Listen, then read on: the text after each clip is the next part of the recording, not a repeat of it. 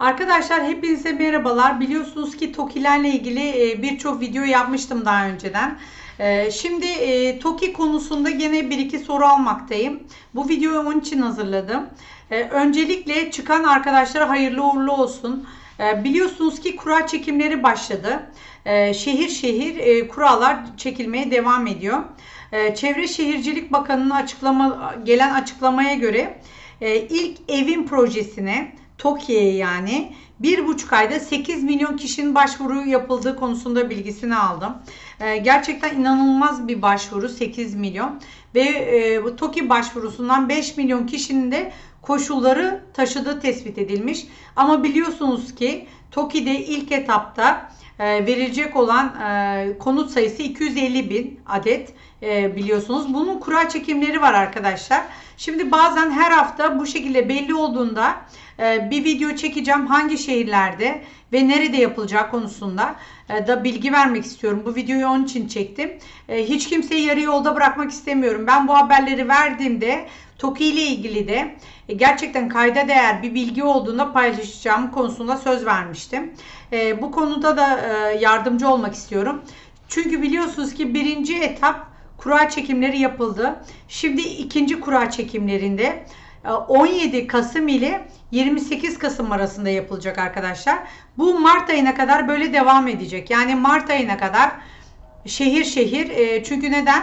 E, bu çekilişler noter huzurunda yapılıyor. E, stadyumda yapılıyor. O şehrin stadyumunda, üniversitesinde, amfiteyatrosunda. Onun için bu şekilde ben hani döneme yayıldığını düşünüyorum. İlk etapta 8 milyon başvuru olmasına rağmen arkadaşlar 5 milyon kişi şartları taşıyor ama ne yazık ki ilk etapta verilebilecek konut sayısı 250 bin. E, ama olsun yani burada gerçekten eğer ki buna ihtiyacı olan bir kişiye gittiyse hani her zaman söylediğim bir şey vardır. E, biz şimdi 6 bin kişi olduk. 6 bin kişiden bir kişi dahi e, bu konuda faydalanıyorsa o iyidir arkadaşlar. Yani illa çok kişi yararlanacak diye bir şey yok ama çok ihtiyacı vardır. Gerçekten Çoluk çocuğu zor durumdadır. Kiralar da yükseldi. Gerçekten böyle kişilere çıksın istiyorum mağdur durumda olanlara. Ee, şimdi ikinci etaptaki e, TOKİ'ler kimlere çıktı onu belirteceğim. Ee, yani hangi şehirlerde kurallar olacak onu belirteceğim. 17 ee, Kasım ile 28 Kasım arasında. Bugün tarihlerden 19 Kasım 2022. Şimdi 17 Kasım Perşembe Kilis'te e, yapılmış durumda çekiliş. 18 Kasım Cuma Bingöl'de yapılmış durumda. Bugün 19 Kasım Erzurum'da 2420 konut arkadaşlar. 21 ee, Kasım Pazartesi günü e, Erzincan'da yapılacak 1147 konut. 22 ee, Kasım Salı günü Tunceli'de 250 konut. 23 Kasım Çarşamba günü Elazığ'da 1831 konut. Ee, daha sonradan bu Gaziantep'te devam edecek. 24 Kasım Perşembe Adıyaman 2650 konut. 26 Kasım Cumartesi Malatya 2791 konut. 28 Kasım Pazartesi Diyarbakır 5550 konut arkadaşlar. İlk evim, ilk iş yerim TOKİ projesiyle ilgili çekilişler. Bu ikinci kura çekilişi arkadaşlar. Birincisine video yapmamıştım ama bununla ilgili bir talep geldi. E, madem bu işe baş koyduk e, bu çekilişleri de size bildireceğim. Hangi şehirlerde olduğunu il il. Onu söyleyeyim. Ayrıca bunu takip edebileceğiniz hani e, o şehirde ama bilmiyorsunuz nerede yapılacak, ne zaman yapılacak, kaçta yapılacak. Arkadaşlar www.toki.gov.tr devletin resmi TOKİ sitesi var. Oradan ilk evim yazan yerden e, sol kısımda altta başvuru ve hak sahipliği hakkında kısmı var. Kura sonucu bilgilendirme kısmı var. Oraya tıklıyorsunuz. Oraya tıkladığınız zaman hangi şehirde e, kaç adet konut var, e, kuranın ne zaman yapılacağı, noteri, işte nerede yapılacağız, spor salonu ya da e, üniversite salonu, e, ne varsa orada e, hepsi açık açık yazıyor arkadaşlar. Bir daha söylüyorum. Www.toki.gov.tr İlk evim yazan yerden giriyorsunuz. Sol kısımda altta ilk evim yazan yerden tıklıyorsunuz. Başvuru ve hak sahipliği hakkında kura e, sonucu bilgilendirme yazıyor. Bir daha söylüyorum. Başvuru ve hak sahipliği hakkında kura sonucu bilgilendirme kısmını tıkladığınız zaman örneğin şu anda size bu verdiğim bilgiler şehirler hangi şehirde hangi spor salonunda saat kaçta olacak hepsi orada var arkadaşlar.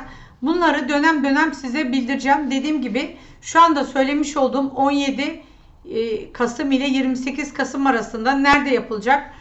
E, Kilis'te, Bingöl'de yapılmış durumda. Bugün Erzurum'da, e, pazartesi günü Erzincan'da, salı günü Tunceli'de kura çekimi olacak. Çarşamba günü Elazığ'da, perşembe günü Adıyaman'da, cumartesi günü Malatya'da, pazartesi günü Diyarbakır'da. Orada konut sayıları da belli. Nerede yapılacağı belli. Ee, dediğim gibi www.toki.gov.tr'den. Ayrıca arkadaşlar TOKİ'den 500 TL para yatırıp da başvurusu olmayanlar, çıkmayanlar da paralarını iade alabilirler. Onu söyleyeyim hesaplarına yatar diye düşünüyorum. Bu şekilde bilgilendirme vereyim. Ee, şimdi arkadaşlar şöyle söyleyeyim. Yani gündemde TOKİ ile ilgili şu şekilde çok değerlendirme oldu. İşte memur maaşlarına endeksli. Ama üzülmeyin. Çıkmayanlar da üzülmesin arkadaşlar. Çok uygun fiyatta gerçekten takip ederseniz uygun konut bulabilirsiniz. Ee, konut kredisiyle sabit faizli konut kredisiyle de konut almak çok uygun arkadaşlar. Yani her zaman bir çıkış yolu var. Yani TOKİ çıkmadı diye üzülmeyin kesinlikle. Her işte bir hayır vardır deyip e, şöyle söyleyeyim. Umudunuzdan ve e, hayalinizden hiç vazgeçmeyin. Onu söylüyorum size. E, elbette bir gün olur. Yani bu çekilişte olmaz. Ondan sonra olur. Olmadı. Kendi çabalarınızla uygun fiyata konut bakın arkadaşlar. E, biliyorsunuz ki konut kredileri standart krediler, sabit faizli krediler, e, devlet bankaları, Halkbank, Vakıfbank ve Ziraat Bankası uygun oranlı konut kredisi veriyor. E, tabii ki tutarlar biraz az kaldı. Neden? Çünkü konut fiyatları çok yükseldiği için biraz sabredin arkadaşlar. E, yani fırtına sürekli sürmez. Rüzgar sürekli sürmez. Yani güneş sürekli e, sıcak olmaz. Yani e, her şeyin durulacağı bir gün gelecek. Evet konutta inanılmaz kaos var. Şöyle söyleyeyim. O fiyatlar çok yüksek. E, yani insanların 8 milyon kişinin de TOKİ'ye başvuru yapmasının sebebi bu. Müteahhitlerden ister ikinci el olsun ister sıfır konut olsun fiyatlar bir buçuk yılda inanılmaz iki katı üç katı insafsız derecede arttı. E, lütfen sakin olun panik yapmayın. Yani her şey durulacak arkadaşlar. Bu sular da durulacak öyle söyleyeyim. E, ne zaman ki devlet bankaları şu an şey duyumunu da alıyorum. İşte kredi vermiyorlar. Evet vermiyorlar. Çünkü neden? Devlet bankasına şu an konut kredisi kullanacağım diye gitseniz size vereceği rakam en fazla 300 bin, 400 bin, 500 bin verir mi bilmiyorum. Özel bankalar verir. İş Bankası verir, Akbank verir, Yapı Kredi verir. Onlar verir. Ama onların da faiz oranı yüksek. %2, 2,5'a kadar çıkıyor. Yani aylık. Ama e, devlet bankaların 1.20 e, konut kredisi faizi. Tabii ki uygun ama vermedikten sonra neyle alacaksınız? Şöyle söyleyeyim. Yani devlet bankasının vermiş olduğu kredi 200 bin, 300 bin şu an konutlar 1 milyon, 1,5 milyon. Ama siz 800 bin liraya 2 artı 1 yakaladınız. 600 bin liraya 1 artı 1 yakaladınız. Hiç kaçırmayın arkadaşlar. Derhal ne bulabiliyorsanız alın yani. İlla TOKİ'yi beklemek zorunda değilsiniz. Ee, yani yapacak bir şey yok. Eşyalarınızın yarısını atıp 1 artı 1'e geçeceksiniz. Yani kiralar almış başını gidiyor yani. Ee, şimdi siz de kendinizi düşünmek zorundasınız. Ya da şehrin biraz daha dışına taşınıp daha uygun fiyattan ödeyeceksiniz. Çünkü neden?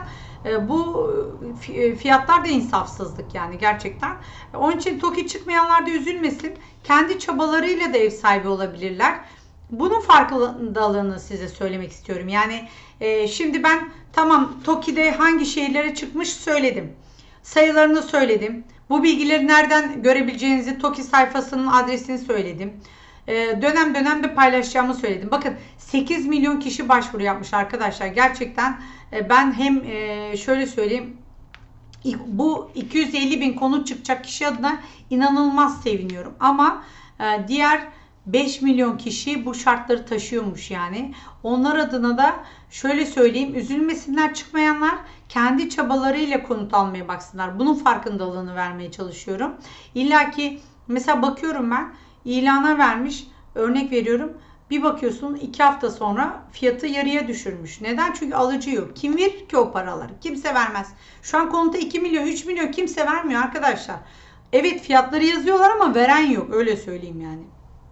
Ruslardan, İranlardan dışında öyle e, konut alan yok yani. O şekilde söyleyeyim. Yani çünkü neden? Bizim insanımızın cebinde para kalmadı ki gitsin 2 milyon versin. Yani 1 milyon 800 bin. 2 artı bir konut 800 bin. Kişilerin alabileceği biraz tadilat yapar içine. 900 bin 1 milyondur yani. 1,5 milyonu bile vere- veremez. Nereden bulacaklar ki? Nereden bulacaklar? Yani fiyatlar inanılmaz arttı. Tamam maliyetler arttı ama bu kadar da hani insanlara da yüklenmemek gerektiğini düşünüyorum arkadaşlar gerçekten. Ee, dediğim gibi bu bilgileri verdim. Ee, TOKİ ile ilgili de ilk iki, ilk etap kurallar yapıldı. İkinci kurallar bu şekilde. Ee, dönem dönem bu şekilde paylaşım yapacağım arkadaşlar. Sağlıcakla kalın. Ee, çıkan arkadaşlara da hayırlı olsun. Yazın. Ee, benim videomun altına e, çıkan kişiler varsa yazmasını istiyorum. Çünkü neden? Ee, ben de orada görünce mutlu olurum arkadaşlar. Kendinize iyi bakın.